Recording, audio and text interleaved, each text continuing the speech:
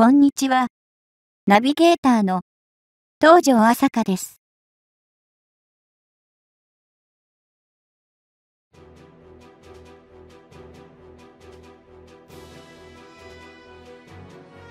ワスプ級教習揚陸艦から現在第7艦隊所属となっているアメリカ級教習揚陸艦アメリカ現在佐世保基地所属となり任務についているワスプもそうだが、アメリカもまたストーブル艦載艦となっている。ハリアーを艦載していたが現在は、そう、F35B ストーブル戦闘機を艦載している。ここにヒントを得た防衛省は、護衛艦出雲や香川同様のストーブル艦載艦として回収の予算を盛り込んだ計画を立てている。防衛大臣の発言では、有事の際に完済する計画とのこと。常時完済するわけではないようだ。それでは、参考にしている教習用陸艦について説明しよう。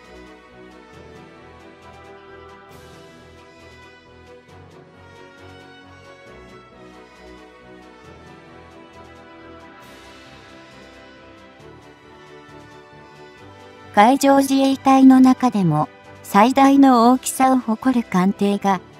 ヘリコプター搭載型護衛艦と呼称されている出雲型の出雲と、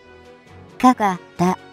これらの艦が備える全通甲板に F35B ステルス戦闘機の運用、搭載を前提とした改修が施されることが公表され、にわかにその空母化の動きに注目が集まっている。同じく F35B ステルス戦闘機を艦載機として運用することになったアメリカ海軍の強襲揚陸艦ワスプについて出雲との比較を含め見ていきたい。まず両艦艇のサイズだが、ワスプが全長約258メートル、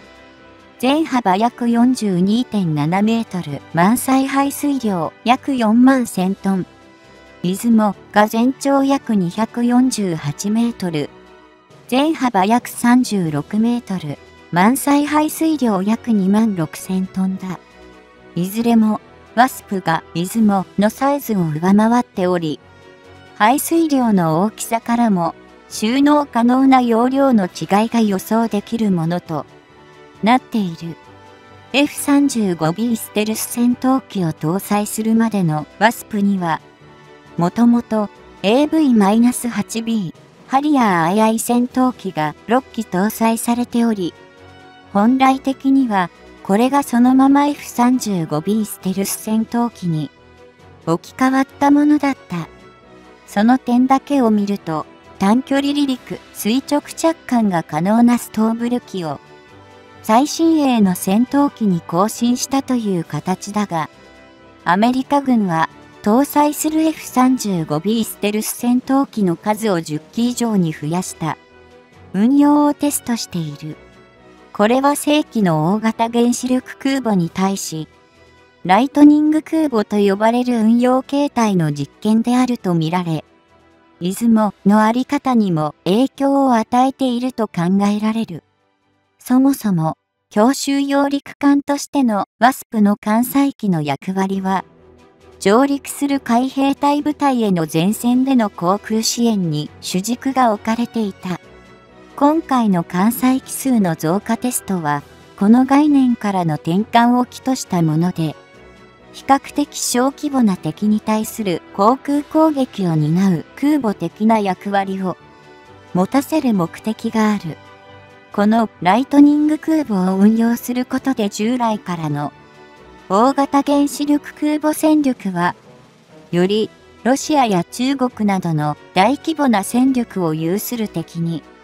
集中させることを狙ったものだ。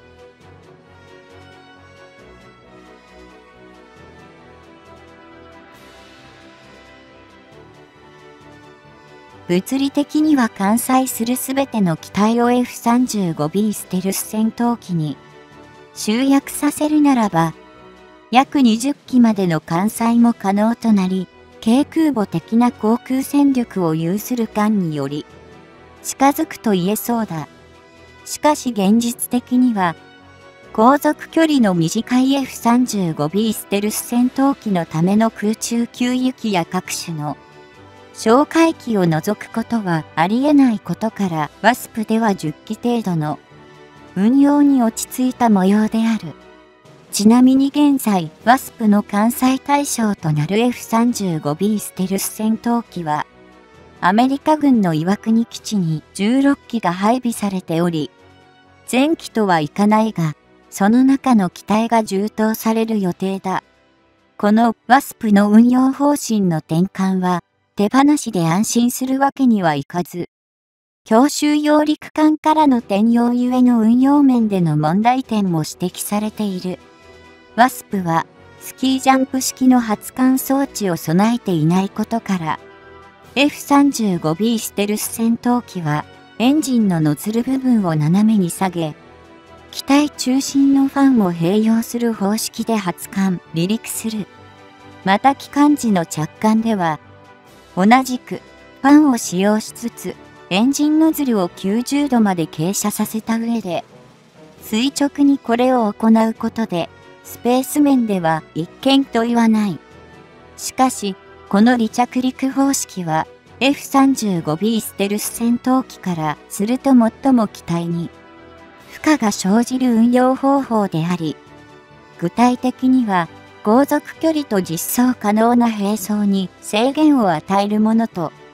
予想されている。試算上では、スキージャンプ方式で運用する場合の F35B ステルス戦闘機に比べ、並走や燃料を約85%から90%の重さに抑える必要があるとされているのだ。作戦範囲が狭くなるという部分において、この意味からも、その欠点を補うために空中給油機とのセット運用を取らざるを得ないと考えられる。